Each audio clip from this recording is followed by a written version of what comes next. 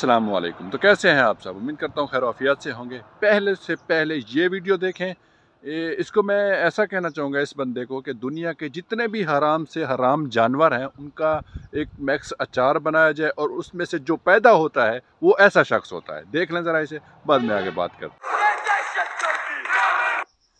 जमात जी ना, मेरे मौके पर हिसाब से लेकिन बगैर तरीन जमात है। वो किस वजह तू? ਕਿਉਂਕਿ ਜਦੋਂ ਇਹਦਾ ਵਰਕਰ ਬੋਲਿਆ, ਜਦੋਂ ਇਹਦਾ ਕੋਈ ਮਿਨਿਸਟਰ ਬੋਲਿਆ, ਹਮੇਸ਼ਾ ਪਾਕਿਸਤਾਨ ਦੇ ਖਿਲਾਫ ਬੋਲਿਆ। ਪਾਕ ਆਰਮੀ ਦੇ ਖਿਲਾਫ ਬੋਲਿਆ, ਪਾਕਿਸਤਾਨ ਦੇ ਇਦਾਰਿਆਂ ਦੇ ਖਿਲਾਫ ਬੋਲਿਆ, ਏਜੰਸੀਆਂ ਦੇ ਖਿਲਾਫ ਬੋਲਿਆ।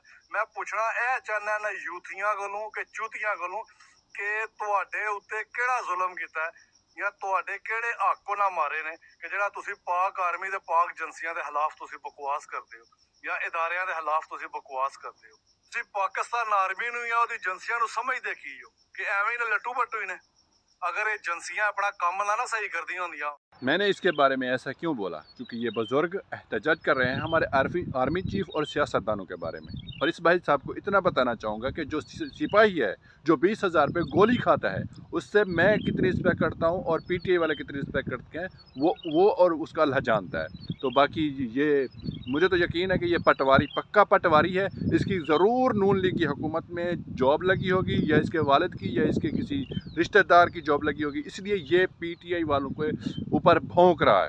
तो इसको भौंकने देते हैं ये भौंकते रहे। ऐसे काफ़ी सारे हैं भौंकते रहते हैं मुसाफिर हो ना उसको भौंकते रहते हैं। तो अगली वीडियो देखते हैं अगली वीडियो क्या है। पंजाब की तरफ़ से जा रहे हैं आसानी से मिल गई हैं। बहुत मुश्किल से मिली है। हाँ जी हाँ। आपके साथ ये बच्चा भी है छोटा बच्चे को लेके आए हुए हैं इतनी मतलब क्या आप? आज भट्टे करना। भट्टे पे काम करते हैं। तो वोट इस दफ़ा आप किसको दे रहे हैं। इमरान खान को इमरान खान को। इंशाल्लाह आटे की थैलियाँ आपने नून लीग की ली और वोट इमरान खान का। लीडर अच्छा है लीडर अच्छा है। ये देखिए ये आ रही है चौक के पास। अगली वीडियो सदीक जान की है। सदीक जान क्या बोल रहे हैं? इलेक्शन करवाने हैं या नहीं करवाने? कब करवाने हैं? किस तारीख को करवाने हैं? उस सदीक जान के लफाज सुनने। उसके बाद अगली वीडियो देखते हैं। इलेक्शन नहीं होगा इलेक्शन नहीं होगा अ, जो ग्राउंड बना दी गई है ना सुप्रीम कोर्ट जो तारीख देगी उस पर भी इलेक्शन नहीं होगा। कोई नहीं अदालत नहीं होगी? सर तोहिन अदालत होगी जो मर्ज़ी होगा जितने लोग इनको बलि चढ़ाने पड़े चढ़ाएँगे इलेक्शन नहीं हो रहा।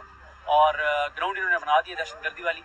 और अल्लाह ना करे मुझे जो खौफ है वो ये है कि अगर इलेक्शन की तारीख अनाउंस हो भी गई उससे पहले दो चार वाक़ात हो जाएँगे। बड़े अल्लाह ताला करम करे और इलेक्शन पिछले साल 2022 में किस तरह माह रमज़ान गुजरा था? किस तरह लोगों की मदद की गई थी? किस तरह कप्तान ने लोगों के बारे में सोचा था? किस तरह मेहनत की थी? वो देख लें। और इस माह रमज़ान में क्या हो रहा है, वो भी दिखाता हूँ।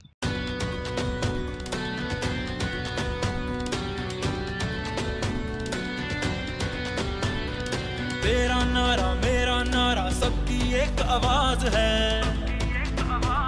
हमें देख के कांपे टांग रही हैं ये तो बस आगाज़ है। तेरा नारा मेरा नारा सबकी एक आवाज़ है। हमें देख के कांपे टांग रही हैं ये तो बस आगाज़ है। हुकूमत हुकूमत हुकूमत पिछला माह रमज़ान हमारे कप्तान ने जो गुजारा था लोगों के लिए दर्द रखता था वो अपने दिल में। तो इस माह रमज़ान में क्या हो रहा है? किस तरह गुजर रहा है? ये भी देख लें।